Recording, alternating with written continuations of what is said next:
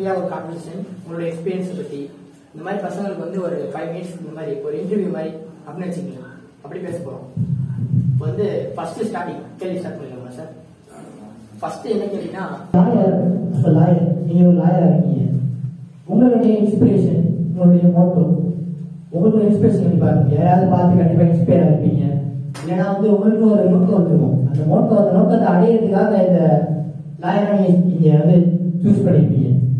அந்த எப்படி இன்ஸ்பயர் ஆனீங்க? உங்களுடைய மோட்டோ என்ன? அப்படின்னு பாருங்க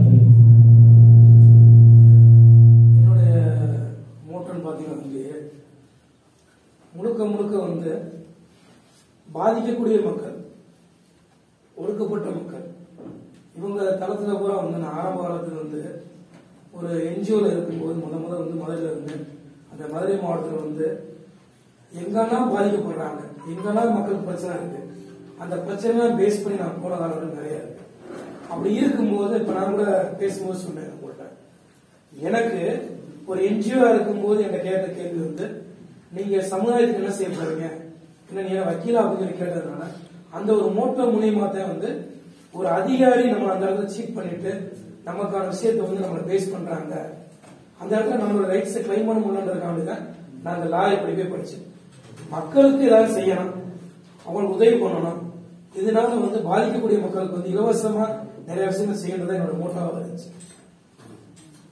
இப்போ வந்து மக்களுக்கு வந்து நம்ம ஹெல்ப் பண்ணுறோம் சார் அது வந்து நம்ம வந்து அவங்களுக்கு பணம் மூலியமா பண்ணலாம் சாப்பாடு கொடுத்து பண்ணலாம். இந்த மாதிரி நிறைய வழிகள் இருக்கு. அப்படியே சில பேருக்கு வந்து மூணு வேளை சாப்பாடும் பணமும் கிடைச்சாலும் கூட அவங்களுக்கு வந்து இந்த பேசிக்கான லானா யாருக்கும் தெரிய மாட்டேங்குது. அதனால தெரியாத காரணத்தாலே அவங்க எல்லாம் ஒடுக்கப்படுறாங்க. நிறைய மக்கள் ஒடுக்கப்படுறாங்க. அதுக்கு நம்மளுடைய பங்கு அவங்களுக்கு என்ன ஹெல்ப் பண்ணலாம் நீங்க நினைக்கிறீங்க?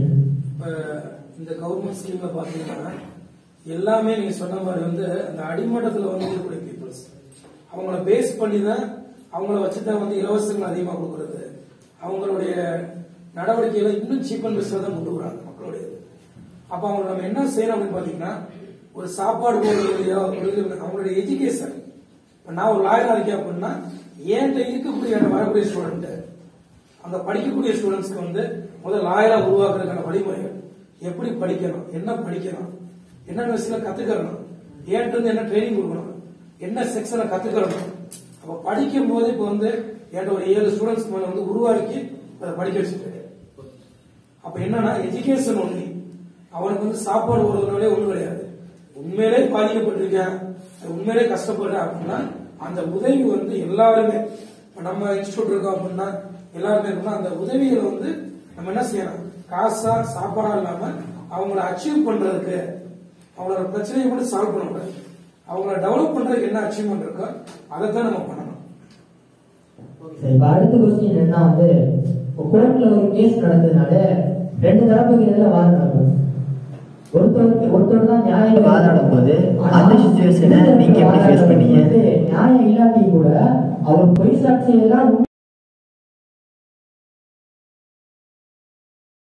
குற்றவாளி நமக்கு முதலில் சொல்லும்போது ஜட்ஜ்மெண்ட்டுக்கு முன்னாடி தெரியும். எல்லாருக்குமே தெரியும். இந்த கேஸோட நடைமுறை என்ன இருக்கு? உண்மையிலே குற்றவாளி இருக்கும்போது நூத்துக்கு எழுபத்தஞ்சு சதவீதம் வந்து சாட்சிகள் உண்மையாவே இருந்தாலுமே சில விஷயம் இப்ப நூத்துக்கு வந்து இப்ப ரீசன்ட் ஜட்ஜ்மெண்ட் நிறைய பாத்தீங்க அப்படின்னா ஜட்ஜ்மெண்ட்லாம் வந்து காவலோட நிறைய பேருக்கு வாய்ப்பு வாய்ப்புகள். நூத்துல வந்து எழுபத்தஞ்சு சதவீதம் சக்சஸ் ஆகும் இருபத்தஞ்சு சதவீதம் ஃபெயிலியர் ஆகும்.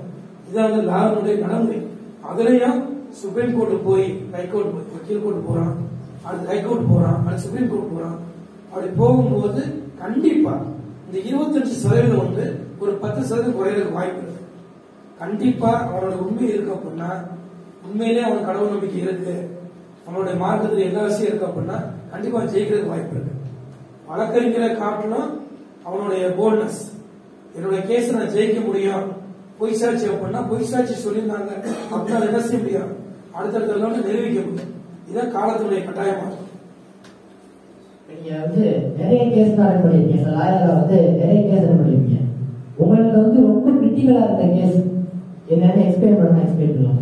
இப்ப என்ன அப்படின்னா வர எல்லா கேஸுமே பத்து ரூபா கேஸா இருந்தாலும் கேஸ் கேஸ் தான் கொலை கேஸா இருந்தாலும் கேஸ் கேஸ் தான் அடிமட்டத்துல பாதிக்கப்படுறான் இந்த பத்து ரூபாய்க்கு அவன் பிரச்சனை போறேன்.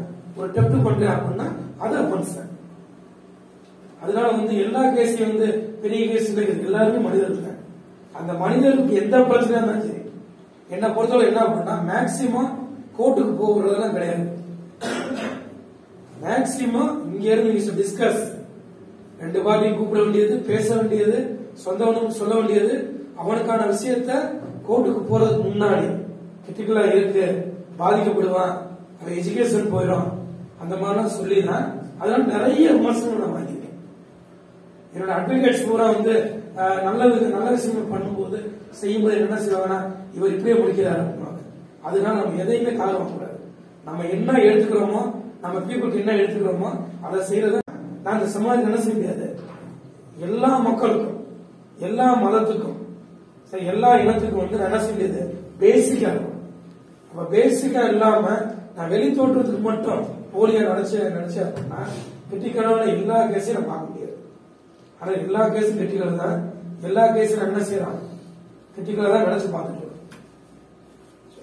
என்னதான் வந்து சமுதாயத்துல வந்து நல்லவங்க இந்த மாதிரி அதிகமான பேர் இருந்தா கூட இந்த கரப்ஷன்ங்கிற ஒரு கரப்ஷன் இந்த கரப்ஷனுங்கிற அந்த டூலை வச்சு நிறைய இல்லீகலான விஷயம் நடக்குது. அது நல்லவங்க வந்து அவங்க எவ்வளவு உறுதியா இருந்தாலும் அவங்களுக்கு எதிராக அந்த கரப்ஷன்ங்கிற டூலை யூஸ் பண்ணி ஜெயிச்சிடுறாங்க அதை பத்தி நீங்க என்ன இப்ப கரப்ஷன் அப்படின்னா இப்ப நான் இருக்கேன்.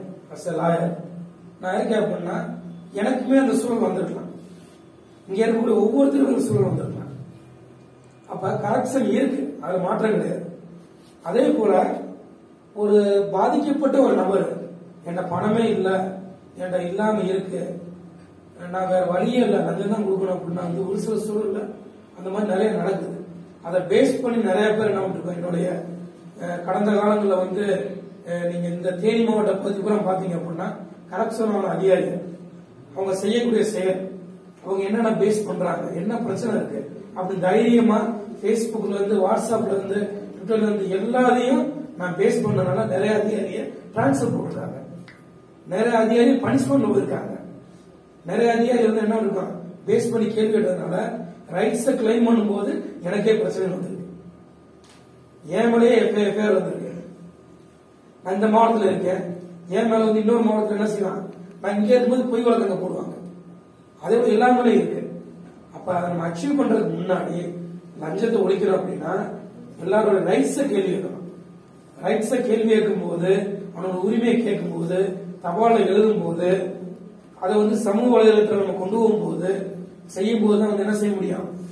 அவங்க லஞ்சம் இல்லாத லஞ்சம் இருக்கு. லஞ்சம் இல்லாமல் சொல்ல மாட்டோம். அது மேலோட்டமா இல்ல. இப்ப எல்லா மாடலும் நடக்குது. அது உங்களை மாதிரியாவது நீங்க பண்ணுங்க. வெளியில கொண்டு வாங்க. சைலண்ட் இது போடுங்க. மொபைல் வந்து அந்த மாதிரி விஷயத்துக்கு பயன்படுத்துங்க. ரெக்கார்ட் பண்ணுங்க. ப்ரூஃப் காமிங்க. இந்த மாதிரி நீங்க உருவாக்குனீங்க அப்படின்னா லஞ்சத்தை ஓரளவு குறைக்க முடியும் பசங்களுக்கு வந்து நீங்க என்ன அட்வைஸ் பண்ணுவீங்க? NGO-ல இருந்து இப்போ இவ்வளவு பெரிய லாயர் ஆகி எழுத்துல இவ்வளவு பெரிய லாயர் அச்சீவ் பண்ணிருக்கீங்க என்னுடைய சிஸ்டர் வந்து ஒரு ஹேங்கிங்ல தம்பி சொன்னாரு. ஒரு பாய்சனில் இறந்து போயிடுறாங்க. அந்த ரைட்ஸை நான் கிளைம் பண்ண முடியல.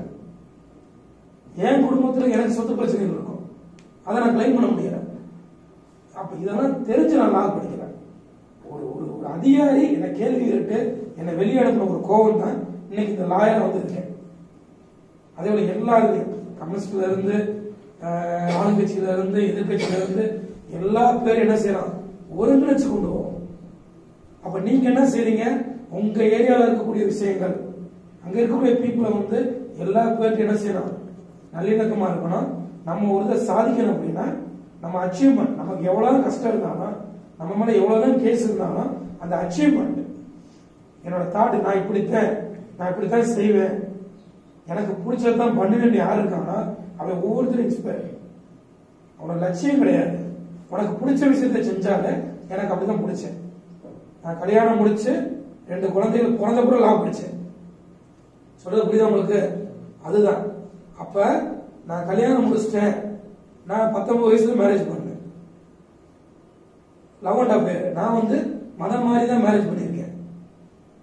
எனக்கு லவ் அண்ட் அஃபேர்லாம் வந்து தடையே கிடையாது. அதை நம்ம வாழ்க்கையில ஜெயிக்க முடியுமான்னு பார்த்து பண்ணணும் நம்ம கொள்கையில விடாம பண்ணாதே வந்து அதை அச்சீவ் பண்ண முடியும். அதனால என் ஒய்ஃப் என்னுடைய பேரண்ட்ஸ் நான் பாதிக்கப்பட்டேன். என்ன என்னால படிக்க முடியாது. ஃபீஸ் பணம் இருக்காது. என் ஒய்ஃப் சப்போர்ட் பண்ணாங்க. இதெல்லாம் நான் அச்சீவ் பண்ணி தான் நான் இந்த அளவுக்கு ஒரு லாயரா இருக்கேன். அதை என்ன செய்யறேன் உங்களுக்கு என்ன பிடிக்குதோ அதை செஞ்சீங்கன்னா நீங்க எல்லாமே டெவலப் ஆகும் என்னுடைய அச்சீவ்மெண்ட் காரணம் வந்து சரியா நீங்க எல்லாரும் சேர்ந்து அச்சீவ்மெண்ட் உங்களை பார்த்து பேசுறேன் பாத்தீங்களா? இந்த சமூகத்துல நடக்கக்கூடிய பிரச்சனை நான் கேள்வி கேட்டதுனால லாயரா இருக்கேன் அவ்வளவுதான். உங்க வேர்ல்டு டைம்ஸ் வந்து எங்களுக்கு ஸ்பெண்ட் பண்ணி எங்களுக்கு இந்த மாதிரி நிறைய விஷயங்கள் புதுசாக தெரிஞ்சவங்களுக்கு ரொம்ப ரொம்ப thanks thank you so much sir நன்றி இல்ல.